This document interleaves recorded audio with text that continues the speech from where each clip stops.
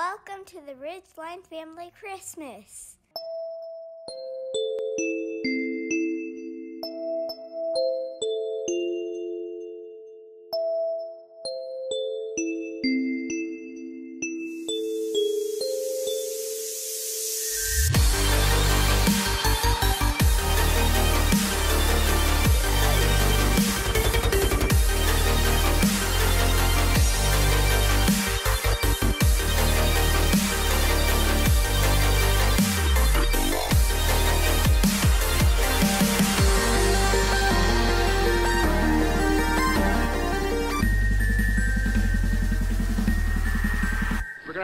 Looking house in town, Russ.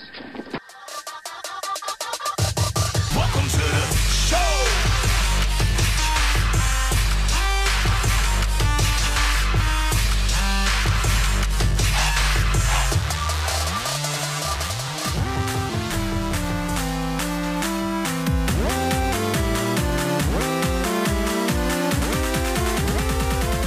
How many love Christmas? How many love Christmas? Like, I, I love Christmas. Uh, I think it is Christmas time is the best time of year. It is my favorite time of year. I've loved it since I was a kid. My parents made a big deal about Christmas. In fact, if given the choice between uh, uh, Christmas and my birthday, I, I would choose Christmas every time. Like I like my birthday, and and but you know when you get to this age, when you get to you know the age of some of y'all, uh, the birthdays just are birthdays are just a little bit. They're just not as like significant, or you're going like ah, you almost learn to dread them as you you age or you get older. But man, I love Christmas. And now here, here's the deal. I wish that as as a pastor, I could tell you that the reason that I love Christmas is, you know, the reason for the season, it's Jesus, it's, it's all of those things. That, and um, it's not. I, I love gifts.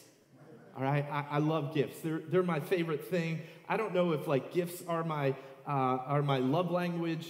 They're certainly not when it comes to like my wife, but I love getting things that I that I like. I love I love getting receiving gifts, and it's fun. I, I love the holidays but for more important reasons too. I do, I do love, you know, hanging out with good friends and family and, and uh, gifts and food and uh, the lights and the excitement, the atmosphere, uh, gifts. I like those.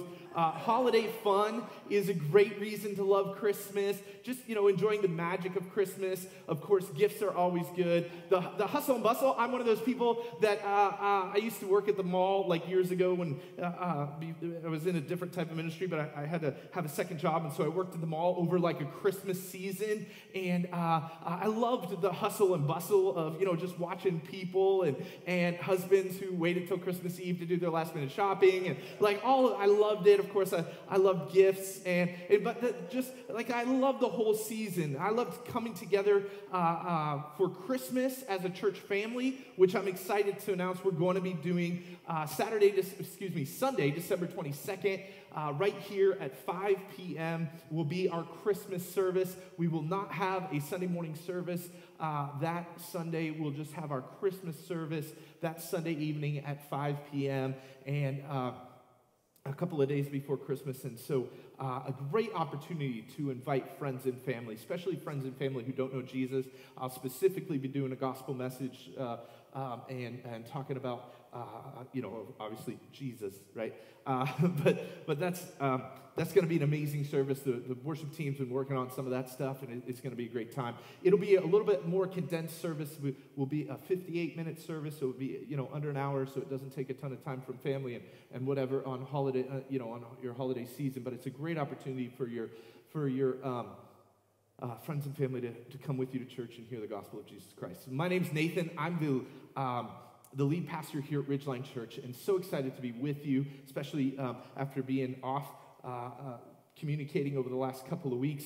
Uh, we had Charity in last week, and then last, or a couple of weeks ago, and then over the holidays, Steve Steve spoke, and, and so that was absolutely amazing. We finished up our Beyond series. If you missed any part of that series, you can get caught up uh, on our website or on our central hub. So uh, today we're launching this brand new series that I'm really excited about. Light has light has come.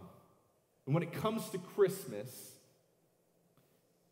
I have to let you in on a big secret. about Christmas that I, I hesitate to tell you um, because I, I feel like, you know, if you don't, if, it might rock some of you, this secret about Christmas that I'm going to share with you. I don't want it to damage your faith or, you know, your Christmas reality. Um, and so if after you hear this, uh, if after you hear this um, secret or whatever about Christmas, uh, if, you know, you might need some prayer after service, whatever, feel free to come and Chris and I, my wife and I, will pray for you, and, and it'll be, I promise, we will walk you through this uh, big announcement. But here it is. Some of you may want to plug your ears to live in blissful ignorance.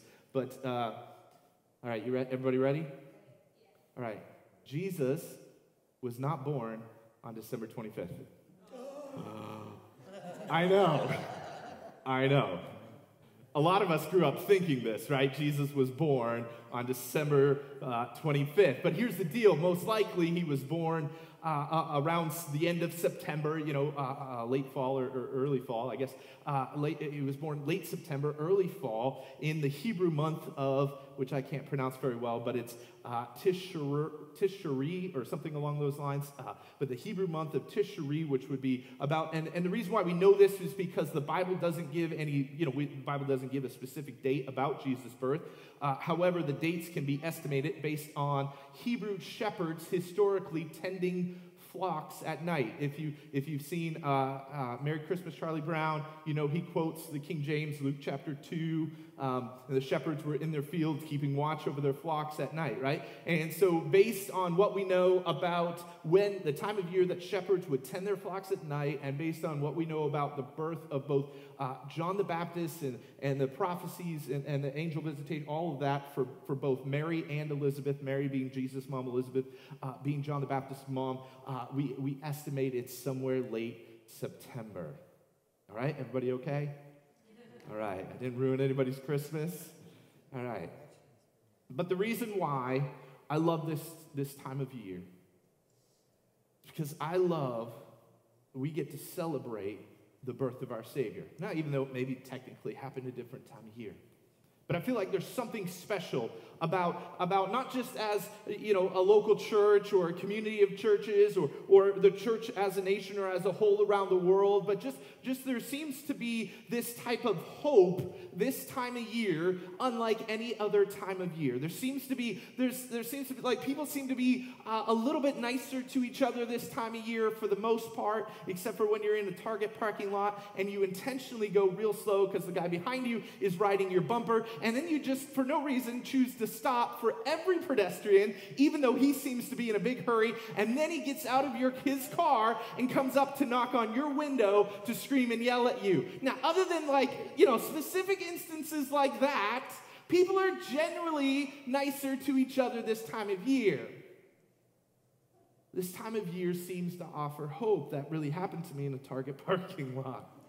This guy was in a big hurry. And so I was just, you know, going an appropriate speed limit. And then he got real close to me. So now I'm like, all right, it's on, man. So I stopped for every pedestrian, every single pedestrian. Like busy, couple days before Christmas, there were people coming out of Target left and right. I stopped for all of them. Didn't need to stop but I needed to stop. You know, like it was one of those scenarios. He gets out of his car and he comes and he knocks on my window and he just starts yelling at me and screaming and berating me. But the best part was, is all the other cars, you know, because there's cars coming from every direction in the parking lot, you could see all the other cars kind of like roll down their window just a little bit and lean in to hear. what did I do? I smiled and waved. Yeah, I really did. I, I must have been having a good day because that's not always my reaction in those types of situations, if we're being honest, you know. Sometimes I would get out of the car, okay?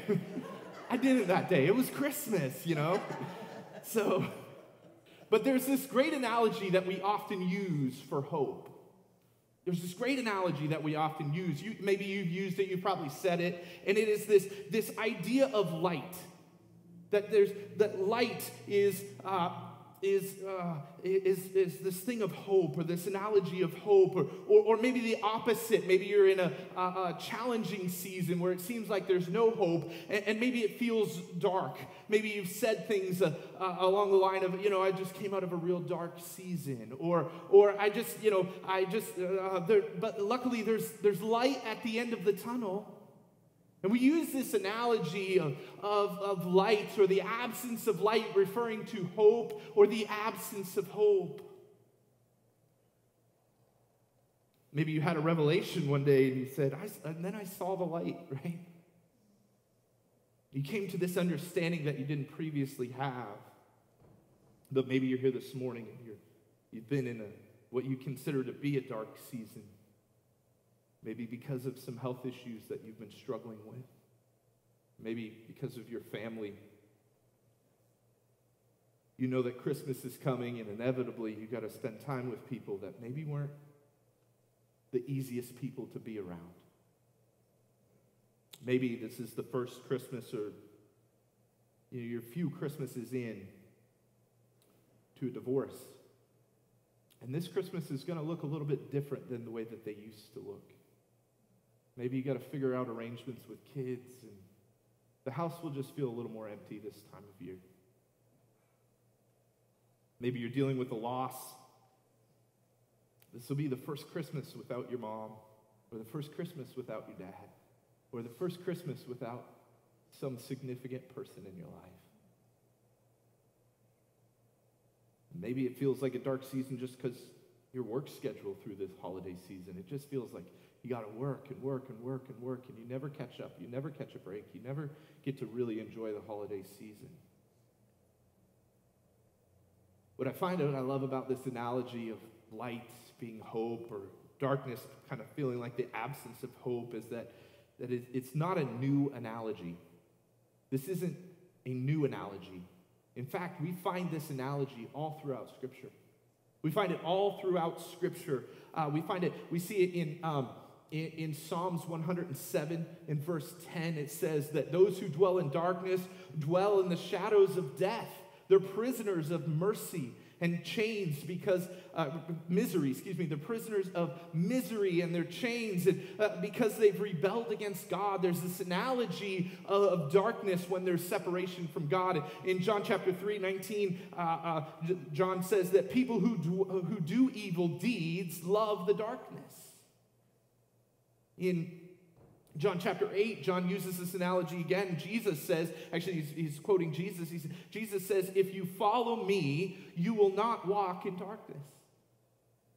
In Ephesians chapter 5, there's this whole section in, the cha- in this chapter uh, about what it means to walk in the light, what it looks like to walk in the light. And we, this is Paul writing Ephesians, he says, We, those who are in Christ, were once in darkness before knowing Christ.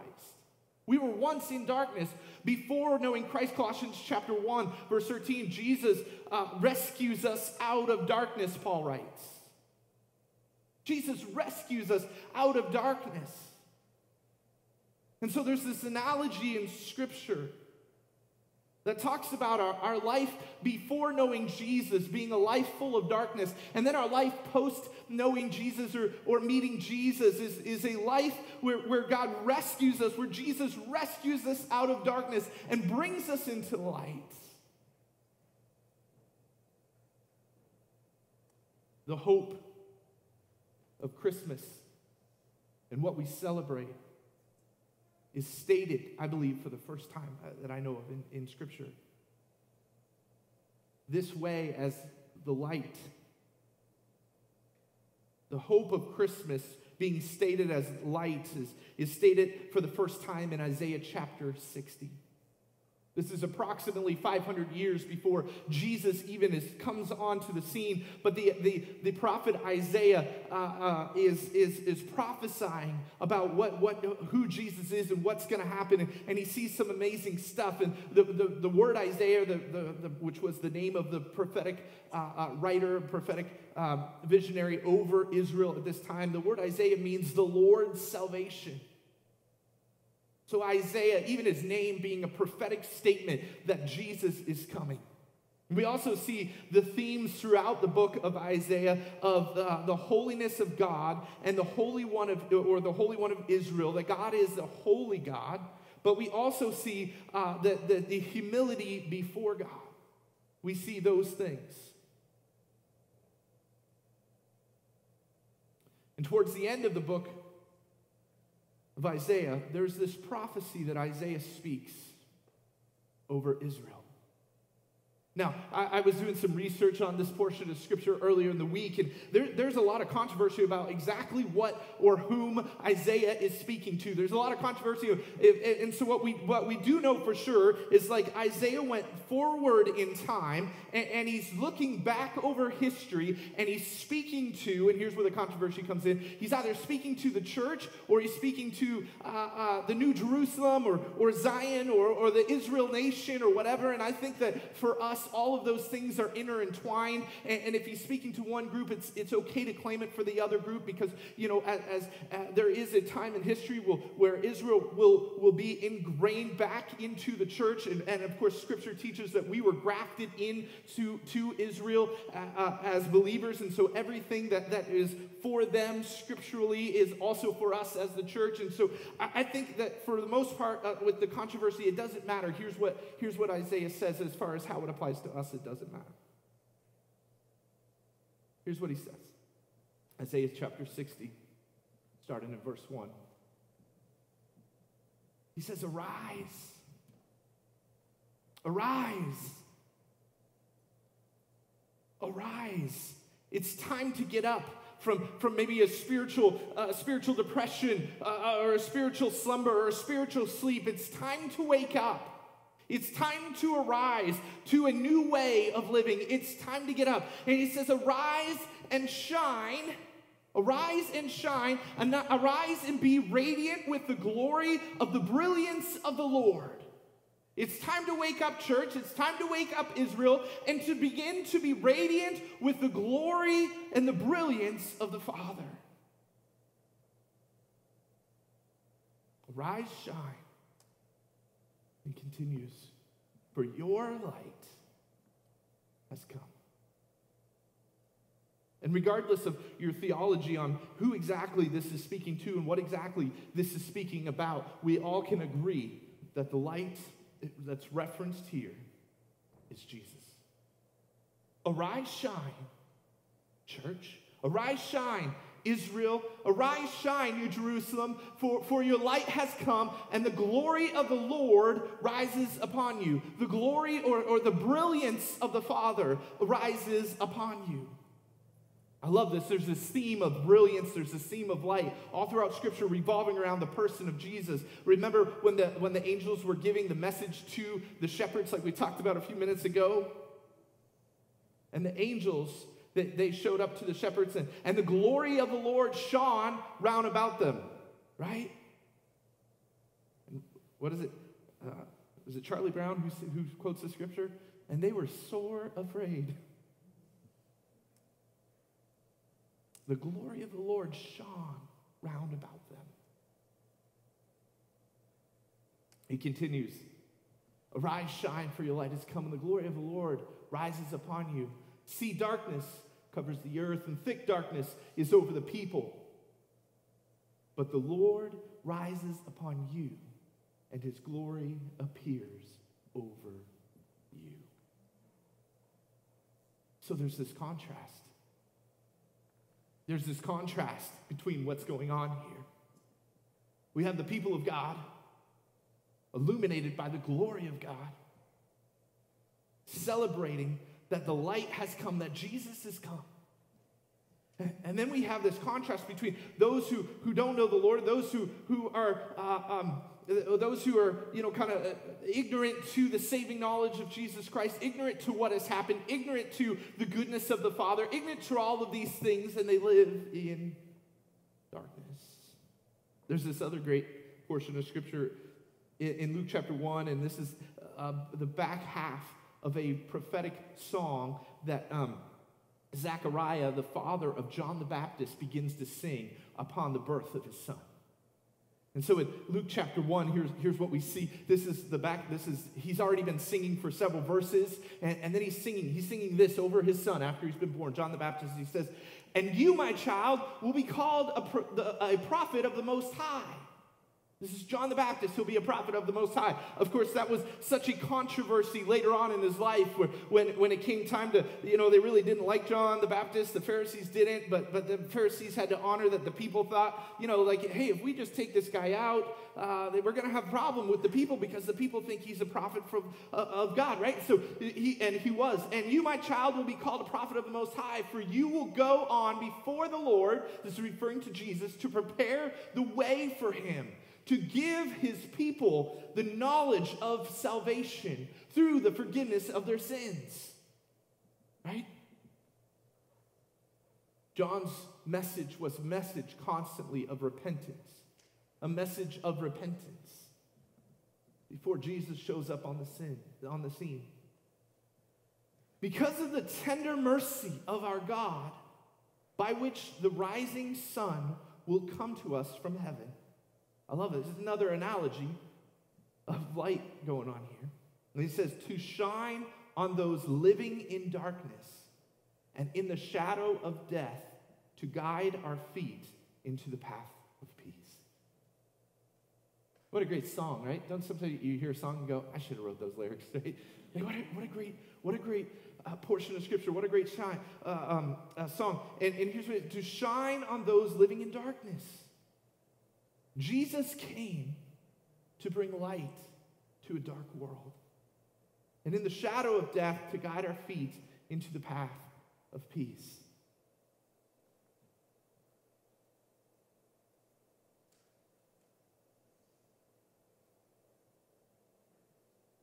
My notes went to sleep here. Oh. There we go.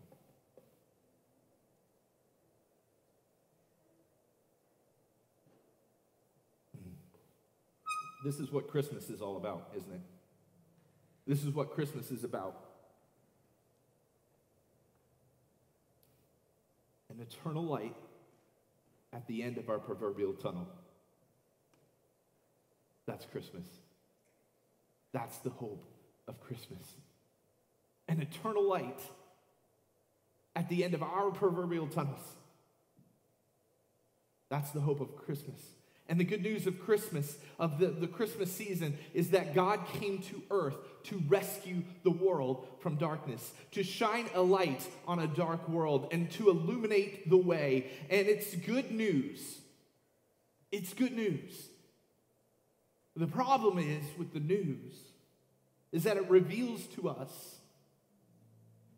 that we can't do it ourselves. We can't save ourselves. We talk a lot about in our starting point, which Bessie talked about a little bit earlier, we talk a lot about you, you know, creating life-giving environments for people, creating environments where people can come in and feel welcome, feel loved, feel accepted, feel all of those things. And one of the reasons why we find that so valuable as a church is because we know it inevitably at some point we're going to we're, we're going to get to a point in the service that's offensive. Scripture says that the gospel is offensive. We're going to get to a point in the service where we tell people that they're a sinner and there's nothing they can do about it. You're a sinner and you can't save yourself. That's the challenge of the gospel is that I have to understand, I have to accept, be willing to accept the fact that there's nothing I can do for my own salvation. We can't be good enough. We can't work hard enough. We can't just be better enough. But the good news of the gospel is that Jesus was enough.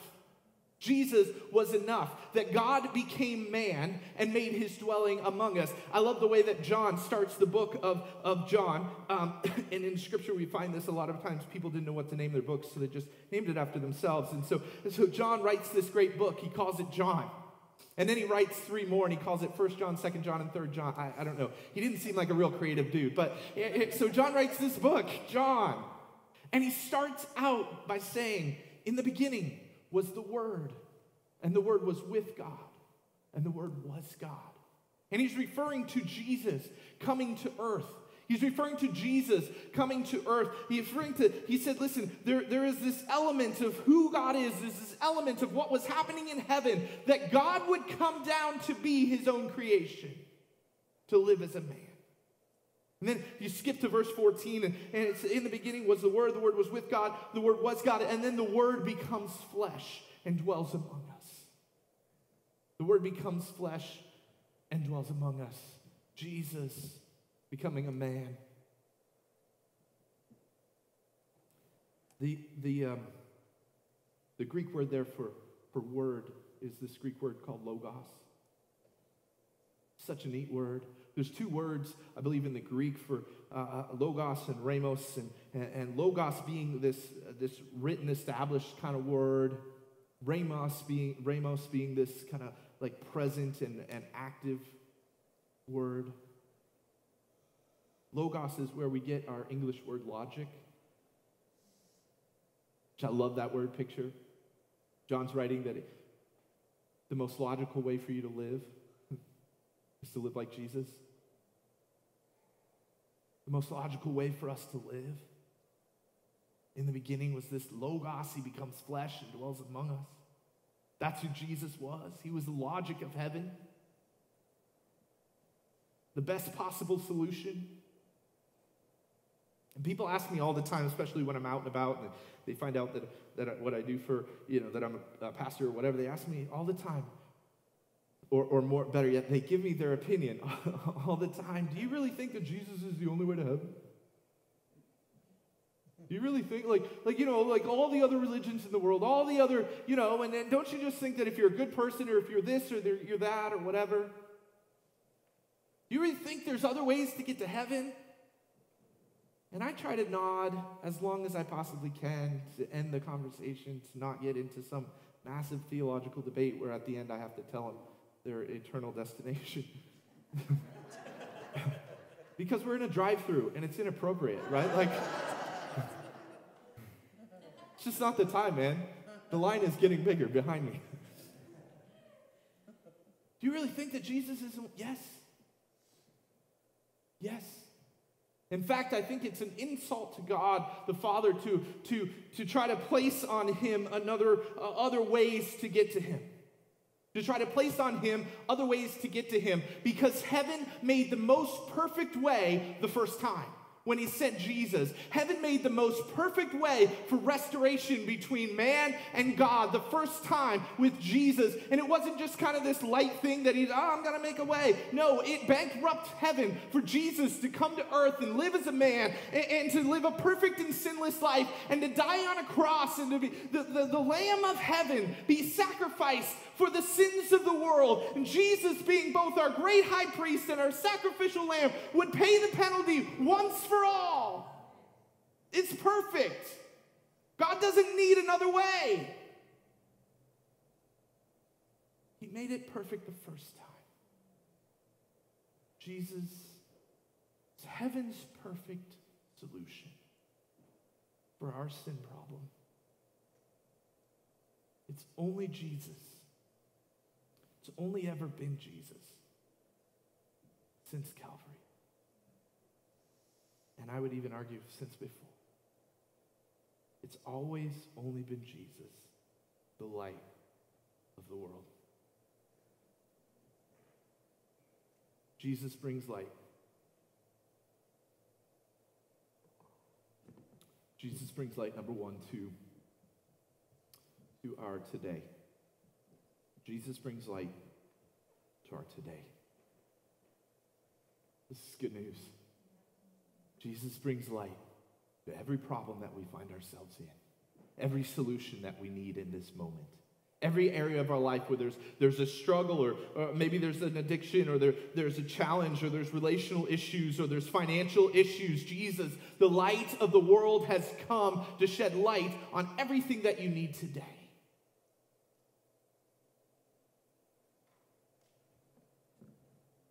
Jesus brings light to our tomorrow. Scripture talks about that, that we get to have a hope and a future. Prophet Jeremiah says we get to have a hope and a future. Jesus came that we may have light in our future in all of our tomorrows. Everything that you're worried about in this season, Jesus has come for. Everything that, that you're concerned about, all of, uh, and you know, your career path and your, your mortgage and, and, and your retirement plan and, and all the different things that we allow to worry us. And you know, it's a crazy world to be raising kids or having grandkids or whatever. Uh, my mom tells me about how crazy the world is and how concerned she is for her grandparents, their grandchildren all the time. And I'm just like, Mom, like I can't keep having these conversations. I just want to get off the phone and like not not ever talk to anyone ever again. Like, I can't. But Jesus, Jesus gives us light for our future, for our tomorrows, for all of our tomorrows. He holds our, our past and He holds our future. He holds time. He holds the whole thing in His hands. Number three, Jesus brings light to our forever, to our eternity. We can know for sure we can have assurance that when we leave this life and enter into the realm of eternity, when we leave this life and enter into what, we, what sometimes we may call the afterlife or whatever, th- that we can know for sure that we will not spend eternity outside of the presence of God, that but we can spend eternity in the presence of God. The exact place we were created and designed to spend Jesus brings light to our forever.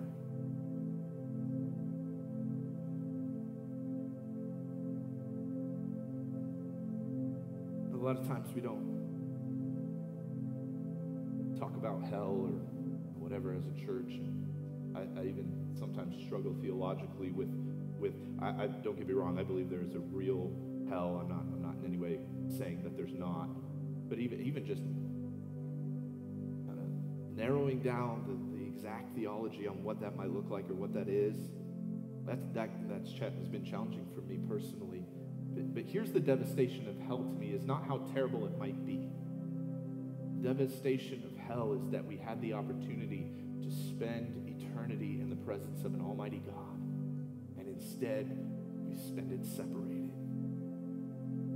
Never once giving to live up to our full destiny of living in his presence.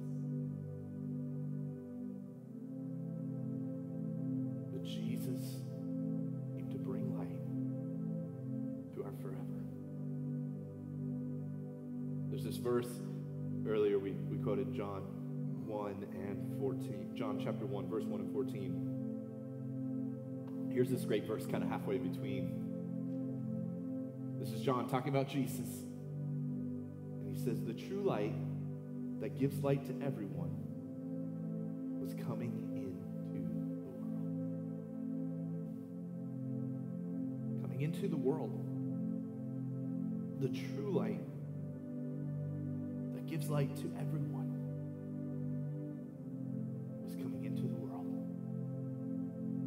most humble, the most kind of, I don't know of another most like poor beginnings that a person born in an animal trough. The God of the universe lays, I think it's Hebrews who talks about that Jesus laid all of his godly attributes aside. Still God, but he laid all of those things aside to be born as a man, to live as a man, and to bring light and hope to a lost, dying, and dark world. Light has come. with every head bowed, every eye closed, you're here this morning saying,